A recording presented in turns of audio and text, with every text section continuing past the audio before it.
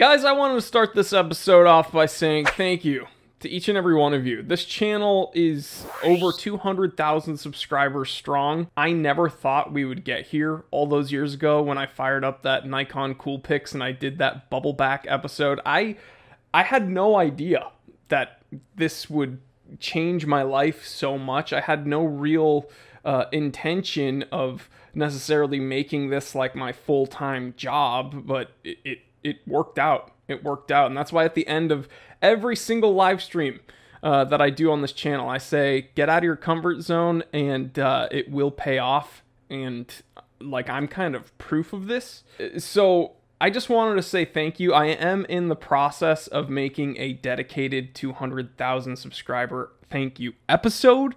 But for now, as a little treat, I wanted to give you a peek behind the curtain, so to speak, uh, when it comes to filming reviews. Now, that sounds kind of boring, but this is going to be some good tea. That's what the kids are calling it, right?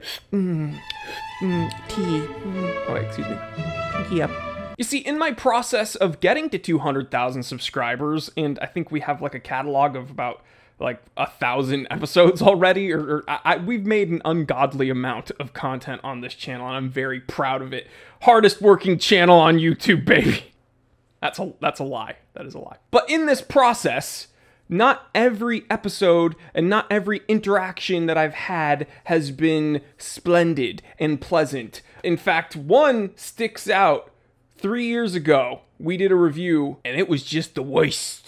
The worst. It is 4:15 p.m. Let's get down to business.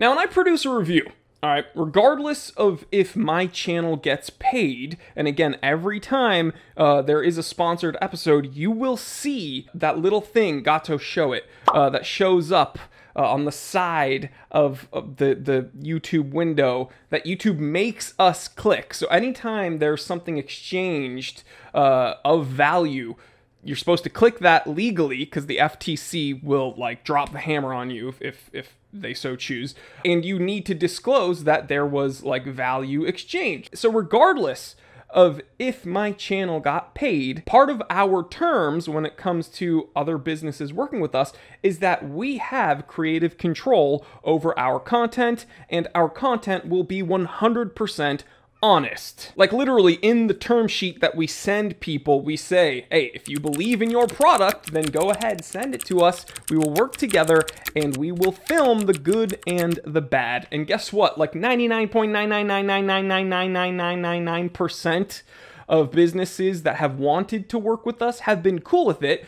And uh, guess what? If we've filmed it and we've uploaded it, then those 100% of those have been cool with it. Kind of. Because again, we, we have had some businesses talk to us and then we give them our terms and then they say, mm, can you can you not say the bad stuff? And then we're like, no, we're good. We're now you're making it weird because now that you now you're worried about bad stuff. Now we think it's going to be bad. So and then you know they typically back out and then we just don't film anything. But again, like pretty much 100% of the time when we filmed something and uploaded it, the business has been cool with it because they've read and agreed to our terms. Now, I say almost every time because there was one interaction that we've had, again, about three years ago, and it was probably the worst experience I've ever had reviewing a watch. Now, I'm not going to say the name of this watchmaker. We're going to be showing footage from the episode, and Gato's going to be blurring out the name because I don't want to like directly put them on blast. It was a German watchmaker. You guys can snoop around uh, my backlog of episodes, and you can do some super sleuthing if you want to go watch it. But um, yeah, I was reviewing one of their watches, and in my opinion, it was kind of a benign review. Like, as always, it was thorough, it was honest. I had fun doing it. I did pros and I did cons. Pretty much exactly what I do with every review. Now, what they took issue with was the fact that not only did I say the pros, but I also said the cons. Which is weird because, like, that's what a review is, especially on my channel. Like, I just tell you my opinion of the thing that I have here, and they agreed to our terms. So let me just run it down for you. Um, I didn't really like the dial, that's my opinion. I found the font on the dial atrocious, that's my opinion. The movement was not running to COSC standards, which is just a fact. And the price was astronomical for what you get, which is just pretty much a kind of basic, ugly ish watch. I mean, they were asking over $800 for this watch, which, in my estimation, you know, it, it, it, just didn't add up. Now, I didn't totally destroy this watch. I was just giving my opinion, my assessment.